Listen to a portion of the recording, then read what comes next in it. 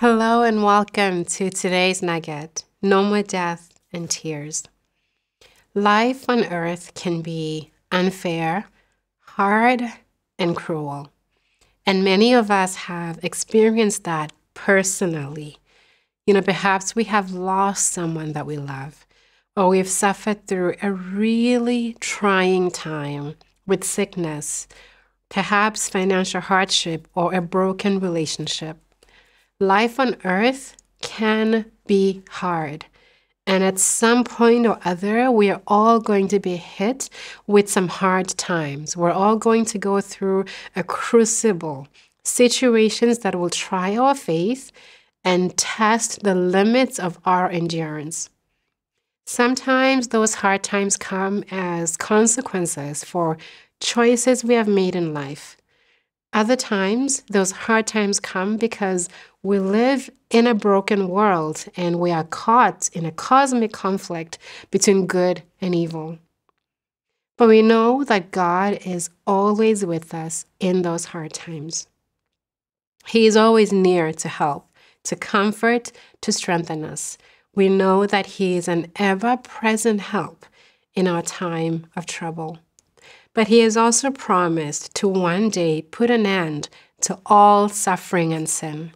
Revelation 21, verse 1 to 4, is one of my favorite texts in all scripture. The Bible says, Then I saw a new heaven and a new earth, for the first heaven and the first earth had passed away. And I heard a loud voice from the throne saying, Look, God's dwelling place is now among the people and he will dwell with them. They will be his people, and God himself will be with them and be their God.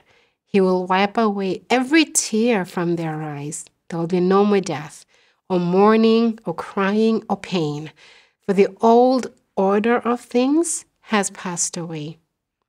Just picture that. Someday, God will wipe away the tears from our faces.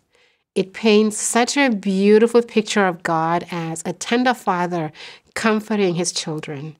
You know that when you have little ones and they get hurt, as a parent, you're near to comfort them and to try to make it all better.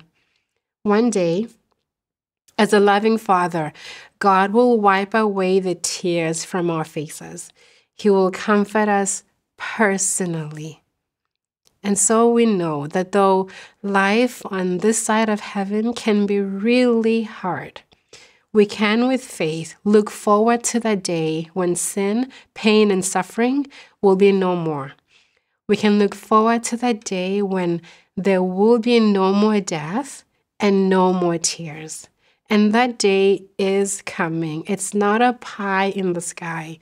It's a very real hope that you and I can hold that someday death and tears will be no more, and that God will come close to comfort us and encourage us after all that we have been through. That's the nugget for today. Thank you so much for joining us. We'll see you tomorrow.